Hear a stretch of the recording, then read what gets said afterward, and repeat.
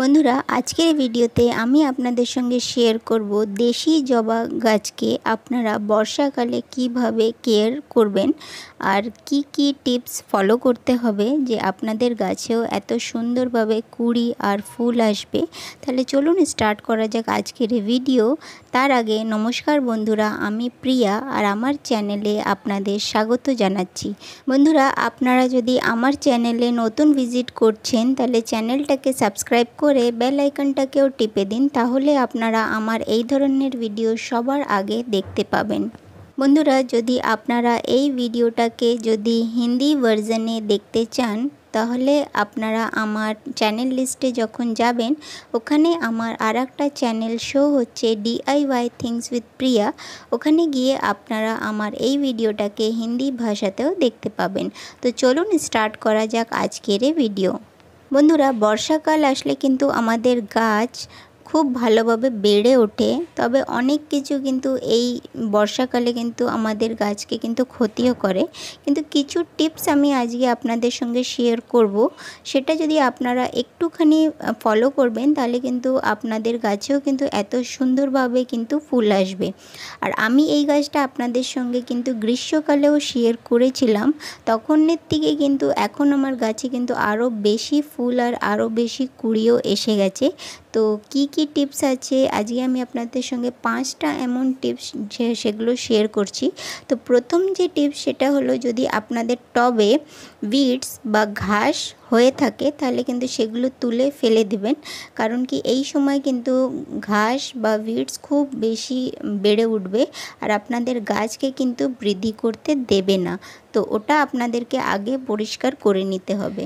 বন্ধুরা, দ্বিতীয় টিপস হলো কি, গ্রীষ্মকালে যদি আপনারা আপনাদের টবের মাটি তাড়াতাড়ি শুকিয়ে না যায়, সেই জন্য যদি টবের মাটির ওপরে মালচিং করে থাকেন, তো এখন কিন্তু সেই মালচিংটাকে সরিয়ে দিতে হবে। কারণ মালচিংটা ডিকম্পোস্ট হতে অনেকটা সময় লাগবে। তার মধ্যে কিন্তু আপনাদের গাছের টবে অনেক বেশিভাবে কিন্তু ফাঙ্গাস আর পোকামাকড়ের অ্যাটাক হয়ে যাবে। আর গাছটা কিন্তু নষ্ট হওয়া মানে খুব বেশি চান্স তো সেই জন্য মালচিংটাকে এখন কিন্তু সরিয়ে দিতে হবে।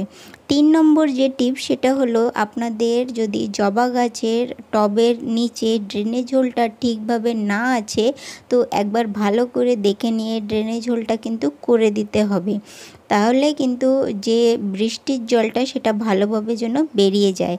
আর চার নম্বর যে টিপস আমি বলব যে আমরা গ্রীষ্মকালে বা বর্ষাকালে কিন্তু মাসে একবার ফাঙ্গিসাইড দিলেই আমাদের যথেষ্ট হয়।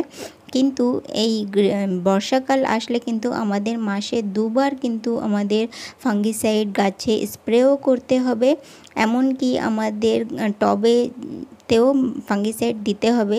তো এক লিটার জলে মানে ওয়ান ফোর্থ চামচ ভালো করে মিশিয়ে নিয়ে ভালো করে গাছে স্প্রেও করতে হবে। আর বাকিটা আপনারা কিন্তু টবেও দিয়ে দিতে পারবেন। পাঁচ নম্বর যে টিপস আমি বলব কি এই সময় কিন্তু সারাক্ষণ বৃষ্টি হতে থাকে আর গাছ কিন্তু সারা টাইম ভিজে বেশিরভাগ সময় থাকে। তো সেই ক্ষেত্রে আমাদের গাছে কিন্তু ছোট ছোট পোকামাকড়ও কিন্তু বৃদ্ধি করে, মাটিতেও বা আমাদের গাছেও। তো সেই ক্ষেত্রে কিন্তু আমাদের ভালো ইনসেকটিসাইড সেটাও কিন্তু পনেরো দিন অন্তর দিতে হবে। তো সেই জন্য আপনারা যে কোনো ভালো ইনসেকটিসাইড নিতে পারবেন সেই জন্য ইমিডাক্লোরোপিড এক এমএল মতো এক লিটার জলে মিশিয়ে নিয়ে আর পুরো গাছে স্প্রে করে দেবেন। আর মাটিতে আপনারা নিমখোল ব্যবহার করতে পারবেন। বন্ধুরা, এই পাঁচটা টিপস হলো কেয়ার টিপস। এইগুলো ফলো করে আপনারা আপনাদের গাছকে কিন্তু যত্ন করতে পারবেন। কিন্তু ভালো নিউট্রিশনসেরও কিন্তু দরকার পড়বে গাছের বৃদ্ধি করার জন্য। তো আমি দশ ইঞ্চি টবের জন্য দেড়শো গ্রাম মতো এখানে ওয়ার্মি কম্পোস্ট নিয়েছি। এক চামচ হাড়ের গুঁড়ো, এক চামচ পটাশ আর তিন চামচ নিম খোল আর এক চামচ এখানে সর্ষের খোল নিয়েছি আর হাফ চামচ মতো সাফ ফাঙ্গিসাইড নিয়েছি। বন্ধুরা, এই সব জিনিসগুলোকে ভালো করে মিশিয়ে নিয়ে আমাদের টবে দিতে হবে। তো ভালো করে আমি মিশিয়ে নিচ্ছি। তার মধ্যে আমি আপনাদেরকে আমার টবটাকে একবার দেখিয়ে দিই।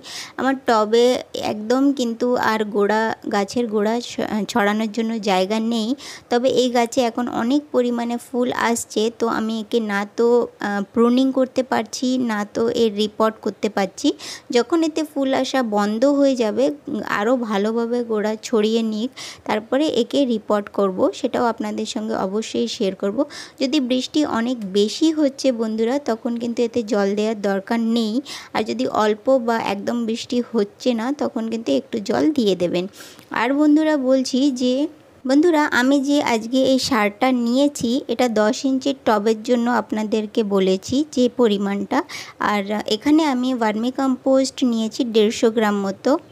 ভার্মি কম্পোস্টের মধ্যে নাইট্রোজেন ফসফরাস পটাশিয়াম ছাড়া ক্যালসিয়াম ম্যাগনেশিয়াম সালফার আয়রন আর অনেক রকমের অনুখাদ্য থাকে। আর তাছাড়া আমি নিয়েছি হলো বোন মিল বোন মিলের মধ্যে মানে হাড়ের গুঁড়ো। হাড়ের গুঁড়োতে ফসফরাস থাকে আর তার সাথে পটাশিয়াম আর ম্যাগনিজ আয়রন আর অনেক রকমের অনুখাদ্য থাকে। তাছাড়া আমি পটাশ নিয়েছি। পটাশ হলো গাছে ফুল যদি না আসছে সেজন্য পটাশটা ব্যবহার করেছি। আর নিয়েছি তিন চামচ মতো নিম খোল। নিম খোলের মধ্যেও কিন্তু এনপিকে নাইট্রোজেন, ফসফরাস আর পটাশিয়ামের সঙ্গে অনেক রকমের অনুখাদ্যও থাকে। তাছাড়া কিন্তু গাছকে কিন্তু কোনো রকম পোকামাকড়ের আক্রমণ যদি মাটি থেকে হচ্ছে সেটাও হতে দেবে না। আর তার সঙ্গে আমি নিয়েছি এখানে সর্ষের খোল। সর্ষের খোলের মধ্যেও কিন্তু এনপিকে আর সঙ্গে কিন্তু অনুখাদ্য অনেক রকমের থাকে।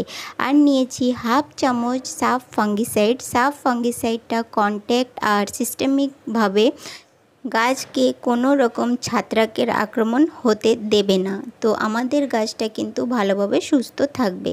তো এই জিনিসগুলো যদি আপনারা আপনাদের গাছকে দেবেন, তাহলে কিন্তু গাছ কিন্তু খুব ভালোভাবে বেড়ে উঠবে। আর বর্ষাকালেও কিন্তু খুব সুন্দরভাবে ফুল আসবে। আরেকটা ব্যাপার বলছি বন্ধুরা, আমার এই গাছে কিন্তু প্রুনিং বা কাটিংস করার একদম জায়গা নেই। মানে প্রত্যেকটা ডালে আপনারা দেখছেন কুড়ি কিন্তু আছে। কিন্তু আপনাদের গাছে যদি ফুল আসছে না, তখন কিন্তু একটুখানি কাটিংস অবশ্যই করে নেবেন। আর যদি পাতা হলুদ হয়ে যাচ্ছে, তাহলে এই সারের সঙ্গেই আপনারা দু চামচ মতো সিভিড ফার্টিলাইজার দিয়ে দিতে পারবেন। যদি লিকুইড থাকে, তাহলে তিন এম মতো এক লিটারের মধ্যে ভালো করে গুলে নিয়ে সেই জলটাকে গাছে গোড়ায় দেবেন। আর যদি গাছে স্প্রে করতে চাচ্ছেন, তাহলে এক লিটার জলে এক এম মতো দিয়ে গাছে স্প্রে করে দেবেন। তো বন্ধুরা, যদি ভিডিওটা আপনাদের ভালো লেগে থাকে, তাহলে আপনারা লাইক আর শেয়ার করা একদম ভুলবেন না। আর যদি আপনারা আমার চ্যানেলে নতুন ভিজিট করছেন, তাহলে চ্যানেলটাকে সাবস্ক্রাইব করে বেল আইকনটাকেও টিপে দিন। তাহলে আপনারা আমার এই ধরনের ভিডিও সবার আগে দেখতে পাবেন। আর ভিডিওটা দেখার জন্য ধন্যবাদ।